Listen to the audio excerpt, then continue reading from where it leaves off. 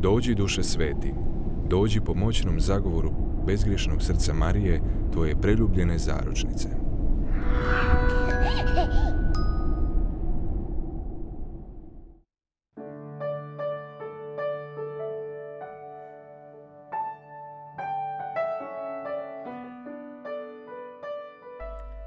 Iz Evanđelja po Mateju Tada dođe Isus iz Galileje na Jordan Ivanu da ga on krsti. Ivan ga odvraćaše.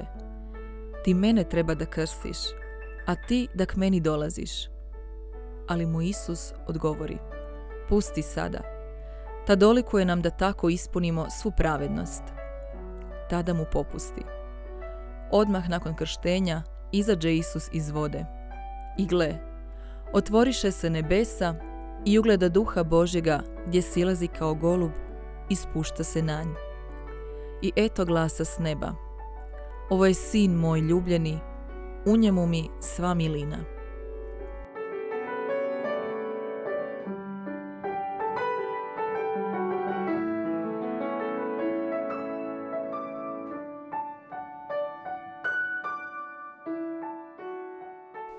Hvaljen si Marija, draga braćo i sestre, pod smokvom.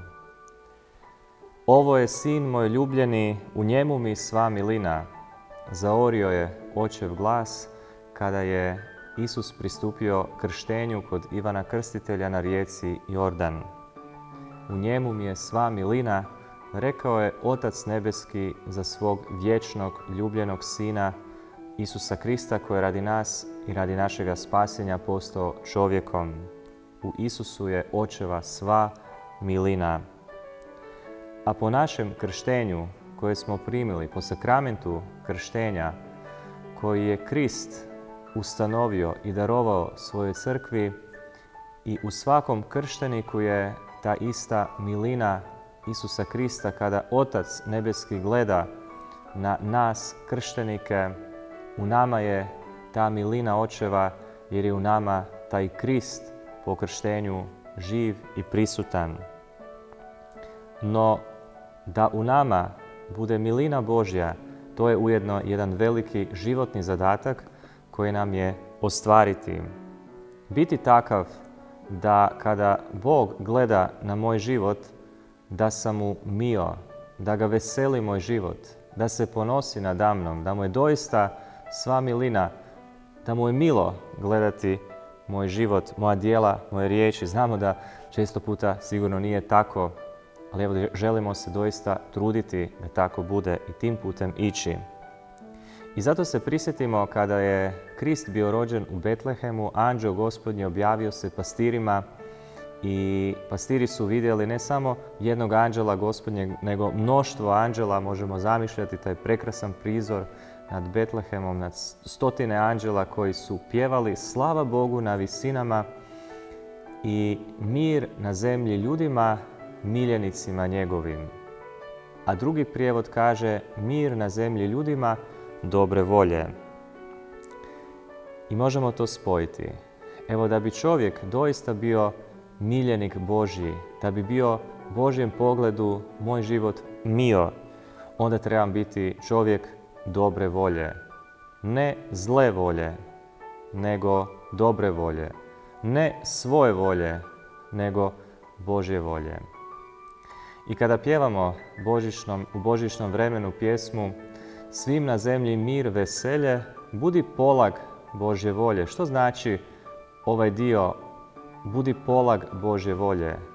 To znači, to je starinska riječ hrvatska, budi prema Božjoj volji, budi po Božjoj volji. Evo, ako dakle želimo, braći i sestre, da naše krštenje zaživi u punini u nama, da zaživi u što većoj mjeri, da se ta milina Kristova razlije po našem biću, kroz naša dijela, kroz naš život, da se to doista ostvari, onda budimo po Božje volji, budimo dobre volje, budimo polag Božje volje. A to konkretno znači, evo brate, sestro, kada si ti, kada sam ja, kada je u meni milina Božja i kada sam ja, kada si ti polag Božje volje, po Božje volji, evo kada opraštaš, kada opraštaš, kada nisi zlo pamtilo, nego opraštaš. Tada si mio Bogu i tada si polag Bože volje. Kada biraš mir umjesto svađe, kada bi se mogao, mogla s nekim posvađati, reći grube riječi, ali radije biraš mir, pa se suspregneš, pa se smiriš, pa kasnije pričaš u miru. Tada si mio Bogu i tada si polag Bože volje. Budi polag Bože volje. Kada biraš vjernost u braku, primjerice, umjesto nevjernosti, na razne načine može se biti u braku, u prijateljstvu, u svećeništu nevjeran. Budi vjeran Bogu, budi vjeran onome kome si dao svoju riječ. Budi polag Božje volje. Nemoj biti svoje volje.